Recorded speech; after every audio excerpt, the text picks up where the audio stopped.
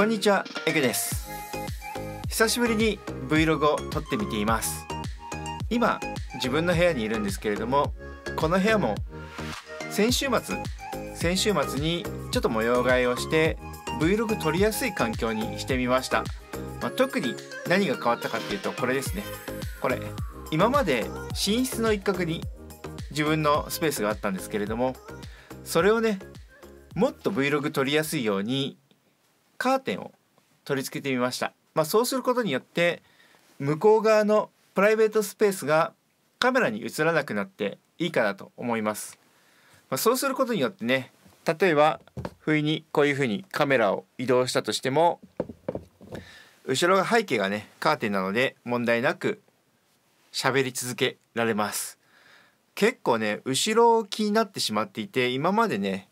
今 1122mm のキヤノンのキス M のカメラに 1122mm のレンズをつけているわけなんですけれども今までね少し例えばこんこんぐらい？こんぐらいせっかくの 11mm だったんですけれども 12mm13mm ぐらいの画角で撮っていました。やっぱりね変なのが映ってしまうのが心配だったんでこういう感じに 11mm で撮るっていうのはあんまり部屋の中ではしてこなかったんですよね。やっぱり端っことかねちょっと気を緩むと映り込んでしまうのでそれがねなかなか大変でした。で今回はねこういう風にカーテンを取り付けたことによってねもう後ろ気にしなくていいわけですよ。でさらにこうやってカメラのなんかね説明をする時もこういうカメラじゃねえな Mac でパソコンで何かを説明する時もこういう風なスタイルで喋れるようになるのがいいかなと思ってます。今までもね結構こういう後ろに Mac を置いて喋るみたいなことはしていたんですけれどもちょっとね先週末までの部屋のレイアウトだとプライベートなものがね映りすぎてしまってあんまりねこういう撮り方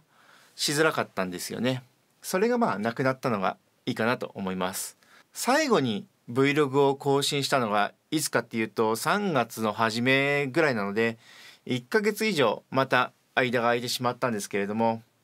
やっぱり思うのはなんかイベントの時だけ撮るっていうのは逆に難しいなっていうのが思いますね。イベントの時にがっつり何かを撮ろうって思うんですけどやっぱり1ヶ月ぶりとか、まあ、1週間ぶりでもいいですね。それぐらいぶりでもカメラを持って何か喋るもしくはいい感じに撮るっていうのが難しいんですよね。久しぶりに持ってしまうと。カメラの設定とかも結構すぐ忘れてしまったりするので日々毎日何かしらねこのカメラを使って喋るっていうのはとても重要なんだなっていうのをまあ感じてたんですけれどもなかなかねこれ始めるのが大変というか気合がいるのでどういう風にしようかなって思っていたんですけれども、まあ、結局、まあ、こんな感じの動画になってます。でまあこのね辺りも反対側？こっち側？こっち側はね本棚とあとはここテレビがあって、まあ、テレビも一応見えるんですけれども本来ならここはゲームスペースですね。であんまり最近はなんか実況したりとかもしてないんですけれどもこの一応ここにマイクがあったりとかそういうスペース。こういう風なねスペースで、まあ、ここはねもう半年ぐらい変化がない。特に何も変わってないスペースですね。逆にこっちのこっちのスペースはいろいろ変えました。もともとこれがねこっち側こっち側をカーテン側を向いてたんですけれども机の向きをまたここに戻し元に戻してちょっと前はこの机の向きだったんですけれどもそれに戻してやっぱりこのこっちにパソコンそしてあっちにゲームスペース。これがね一応このスペースの中で、まあ、ベストなポジションなんじゃないかなと思います。ただね長くこのポジションを過ごしているとやっぱり自分なんか自分の中で飽きが来てしまうとまた模様替えをしたくなってしまったりするんですけれどもそれがちょっと心配。これ以上ねまた何かを変えたとしても変えきれないんじゃないかなっていうふうに思います。であとここね。ここにまあいろいろ充電用のスペースを作ったんですけども今までここに DJI スパークの充電の、まあ、チャージのユニットを置いてたんですけれどもそれを撤廃して本当に普通に例えば、まあ、こういうマイクロ USB であったりとか USB-C であったりとかそういったものを充電するためのスペースをここに作りました。それぐらいかな。こういうふうにねこんな感じで机の周りをまた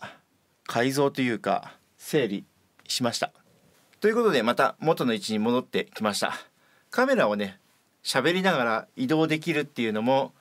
ここのカーテンをねこれねカーテンをつけたことによってまあ一つ利点なんじゃないかな。やっぱりね日本の住宅が狭いのでなかなかこういうふうに喋るスペーススタジオを構えるなんてことはまず無理だと思います。その中でもね少しでも工夫してこういうふうに喋れる空間を作るっていうのは、まあ、今後重要になってくると思うので手始めに、まあ、カーテンちょっと導入してみました。これでどれだけ Vlog できるかどうか試してみたいと思いますやっぱりね、うん、さっきも言ったんですけれども毎日に近いぐらいカメラを使っていって撮っておかないとなかなかいざという時にカメラの性能を引き出すことができなかったりするので、まあ、僕はねこれからまたちょくちょくこんな感じでたわいもない話を続けていけたらいいかなと思います。ということで今日の動画は以上となります。この動画は この動画のチャンネル登録をもうすっかり忘れてんな。